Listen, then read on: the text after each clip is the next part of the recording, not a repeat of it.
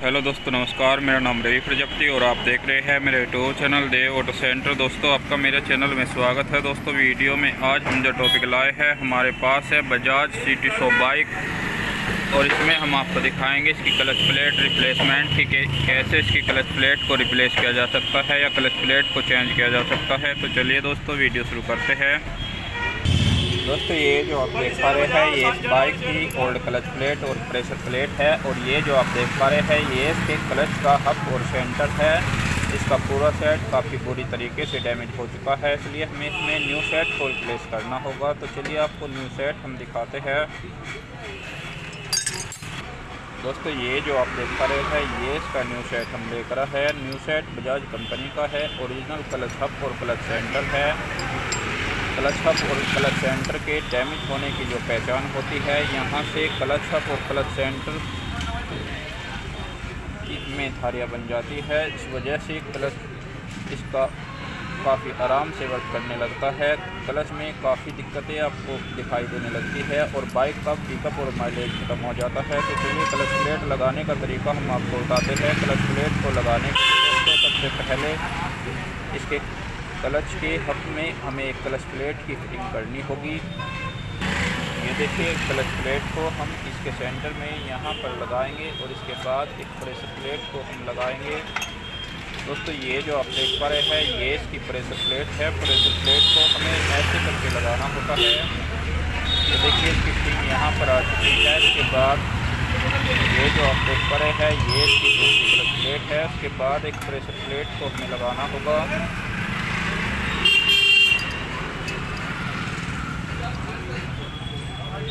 बाद clutch plate और एक प्रेशर प्लेट दोस्तों, इसमें पाँच क्लच प्लेट और चार प्रेशर प्लेट दी गई है।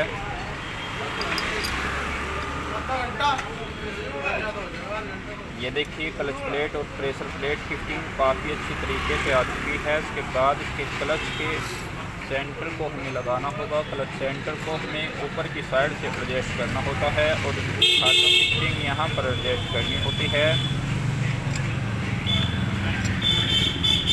ये देखिए फिटिंग यहाँ पर आ चुकी है। इसके बाद ये जो आप देख पा रहे हैं, ये इसके क्लच का कटोरा है और ये इसके क्लच की रोड दी गई है। क्लच की रोड में हमें क्लच प्लेट और प्रेशर प्लेट की फिटिंग करनी होती है। तो चलिए इसकी फिटिंग करने के लिए। दोस्तों, ये जो आप देख पा रहे हैं, ये इसके क्लच कटोरे का वार्सल दिया गया है। इस वार्सल को हमें यहाँ पर लगाना होगा और इसके बाद इसके क्लच प्लेट की हमें फिटिंग करनी होगी।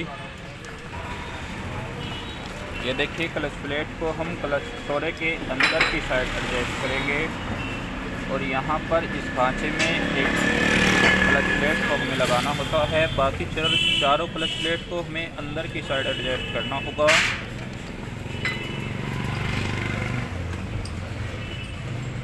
ये वाला क्लच प्लेट हमें इस वाले खांचे में एडजस्ट करना होता है। देखिए दोस्तों क्लच प्लेट की फिटिंग क्लच के कटोरे में काफ़ी अच्छी तरीके से आ चुकी है। इसके बाद इसके ऊपर की साइड यहाँ पर एक वार्सल को हमें लगाना होगा और इसके ऊपर की साइड के बोल्ट को हमें एडजस्ट करना होगा। दोस्तों, ये जो आप देख पा रहे हैं, ये इसके क्लच का नट दिया गया है। 19 नंबर का बोल्ट है दोस्तों, वार्सल नुमा बोल्ट इसमें लगाया गया है।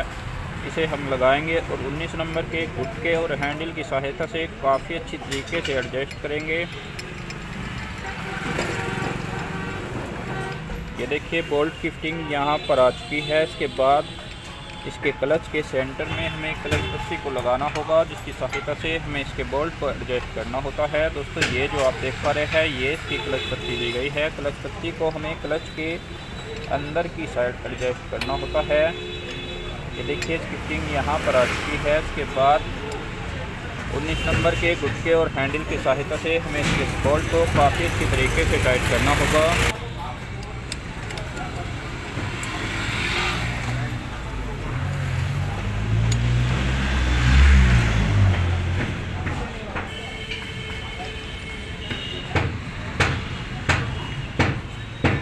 देखिए, काफ़ी अच्छी तरीके से टाइट हो चुका है। इसके बाद क्लच कूलर को हमें बाहर निकालना होता है और यहाँ पर क्लच सेंटर के सभी खाँचों में हमें इसके क्लच के स्प्रिंग की फिटिंग करनी होगी। दोस्तों, ये जो आप देख पा रहे हैं, ये इसके क्लच के स्प्रिंग दिए गए हैं। क्लच स्प्रिंगों को हमें क्लच सेंटर के खांचों में एडजस्ट करना होता है।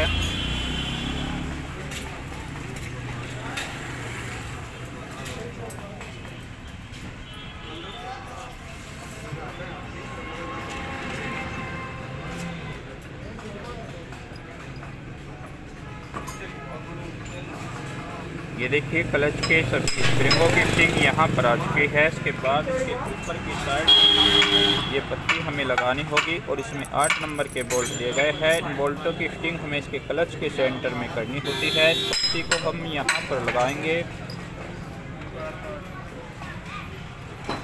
और आठ नंबर के बोल्टों को हमें अंदर की साइड एडजस्ट करना होगा।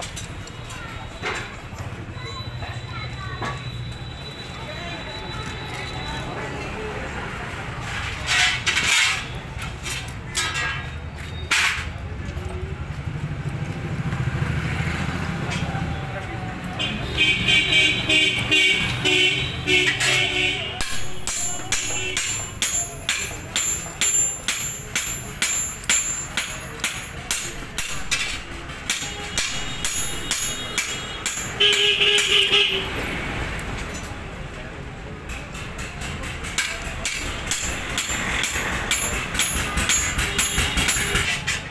सभी बोल्टों की फिटिंग यहाँ पर आ चुकी है। इसके बाद आठ नंबर की टी हैंडल की सहायता से हमें इसके सभी बोल्टों को काफ़ी अच्छी तरीके से टाइट करना होगा।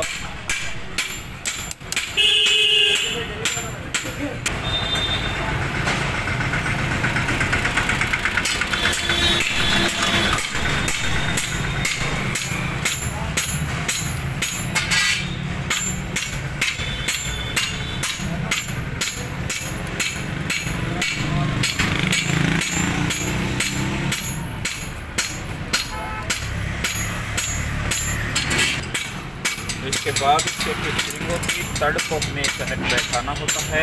तड़ को बोल्ट के ठीक सामने हमें एडजस्ट करना होता है।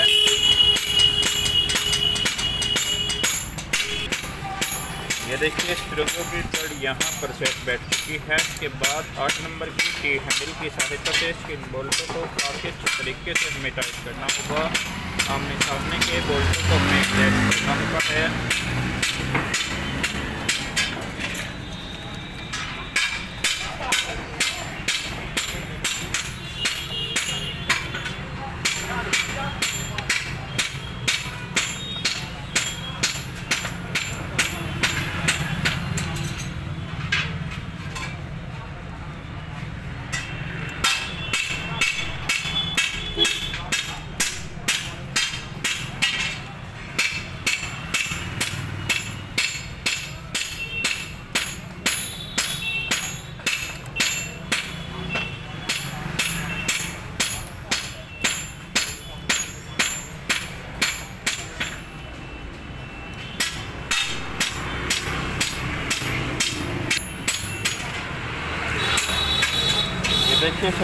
सभी की फिटिंग काफ़ी अच्छी तरीके से आ चुकी है। इसके बाद इसके ऊपर की साइड का बेरिंग हमें लगाना होगा। दोस्तों, ये जो आप देख पा रहे हैं, ये इसके क्लच का बेरिंग है और ये यहाँ पर हमें लगाना होता है। इस कैप के अंदर इस बेरिंग को हमें एडजस्ट करना होगा और इसकी फिटिंग क्लच के कटोरे में हमें करनी होती है। देखिए बैरिंग की फिटिंग इसके अंदर आ चुकी है। इसके बाद इस बैरिंग को हमें यहाँ पर एडजस्ट करना बेरिंग की फिटिंग यहाँ पर आ चुकी है। इसके बाद यहाँ पर इसके व्हील की हमें फिटिंग करनी होगी। व्हील की फिटिंग करने के लिए दोस्तों, ये जो आप देख पा रहे हैं, ये व्हील का कटर दिया गया है। इस कटर को हमें यहाँ पर एडजस्ट करना होता है। ये देखिए कटर की फिटिंग यहाँ पर आ चुकी है। इसके बाद ये जो आप देख पा रहे हैं, ये इसका व्हील है। व्हील में काटर को इस होल के अंदर की साइड हमें एडजस्ट करना होगा। तो चलिए इसकी करने का तरीका हम आपको बताते हैं।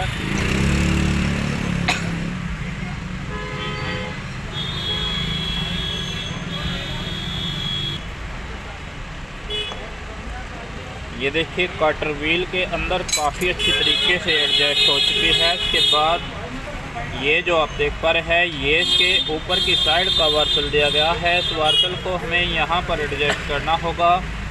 और ये जो आप देख पा रहे हैं, ये इसका बोल्ट दिया गया है। इस बोल्ट को हमें यहाँ पर लगाना होगा और व्हील कूलर की सहायता से काफ़ी अच्छी तरीके से टाइट करना होता है। दोस्तों, ये जो आप देख पा रहे हैं, ये इसके व्हील का कूलर दिया गया है। व्हील कूलर को हमें उस बोल्ट के अंदर की साइड लगाना होगा और मुझके और हैंडल की सहायता से काफ़ी अच्छी तरीके से एडजस्ट करना होगा।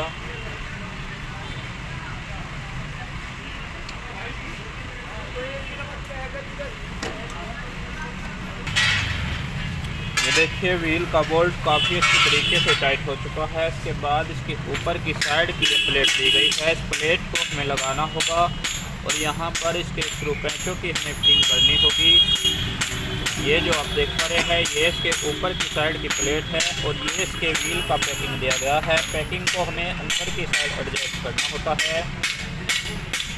ये देखिए पैकिंग की फिटिंग यहाँ पर आ चुकी है। इसके बाद इसके ऊपर की साइड की प्लेट को हमें लगाना होगा।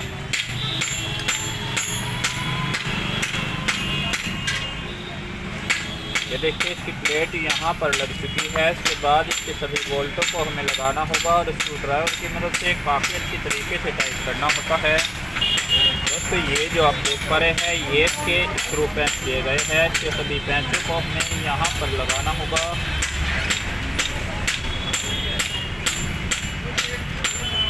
और स्क्रू ड्राइवर की मदद से काफ़ी अच्छी तरीके से टाइट करना होता है।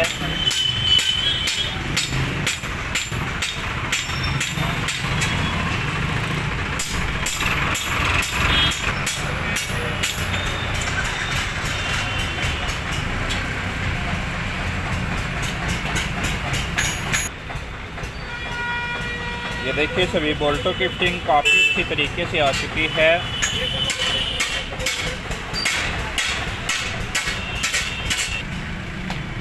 दोस्तों जो प्लस प्लेट की फिटिंग थी, वो काफ़ी अच्छी तरीके से आ चुकी है। इसके बाद इसके ऊपर की साइड का क्लच पैनल हमें लगाना होगा। दोस्तों ये जो आप देख पा रहे हैं ये इसके क्लच का पैनल है क्लच पैनल पर क्लच पैकिंग का यूज़ हमें करना होगा। ये जो आप देख पा रहे हैं, ये इसके क्लच का पैकिंग है। क्लच पैकिंग को हमें यहाँ पर एडजस्ट करना होता है क्लच पैकिंग को लगाने के लिए। सबसे पहले इस पर थोड़े एनाबोंड का हमें यूज़ करना होगा ताकि लीकेजिंग की प्रॉब्लम न रहे। ये जो आप देख पा रहे हैं, ये एनाबोंड छः सौ छियानवे है। इसकी सहायता से, इसकी लीकेजिंग की प्रॉब्लम को हमें सोल्व करना होगा।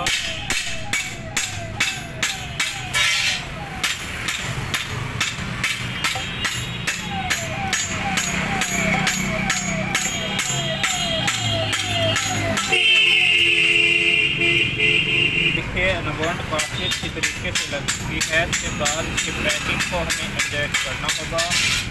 देखिए कलर पैकिंग को हम यहाँ पर लगाएँगे। देखिए कलच पैकिंग की फिटिंग काफ़ी अच्छी तरीके से आ चुकी है। इसके बाद हल्का एनाबोन पैकिंग के ऊपर की साइड हमें यूज़ करना होता है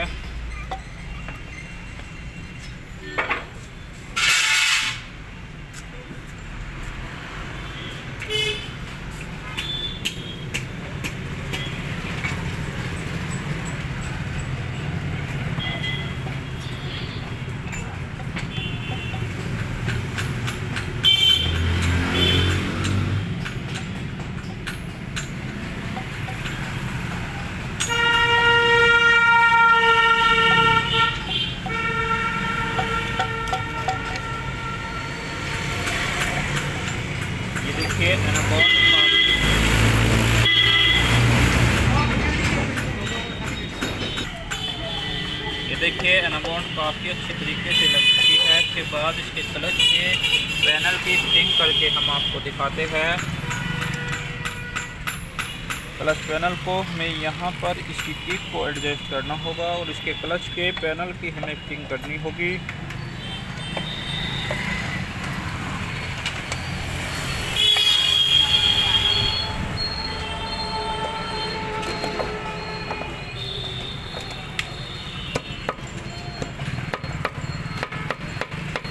ये देखिए दोस्तों क्लच पैनल की फिटिंग काफ़ी अच्छी तरीके से आ चुकी है। इसके बाद इसके सभी बोल्टों को हमें लगाना होगा और आठ नंबर की टी हैंडल की सहायता से काफ़ी अच्छी तरीके से एडजस्ट करना होता है।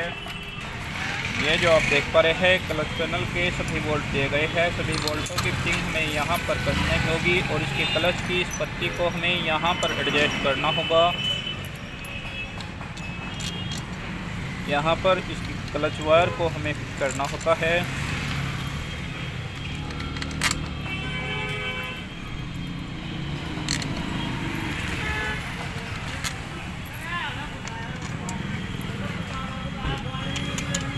ये देखिए, सभी बोल्टों की फिटिंग काफ़ी अच्छी तरीके से आ चुकी है। इसके बाद आठ नंबर की टी हैंडल की सहायता से इसके सभी बोल्टों को हमें काफ़ी अच्छी तरीके से टाइट करना होगा।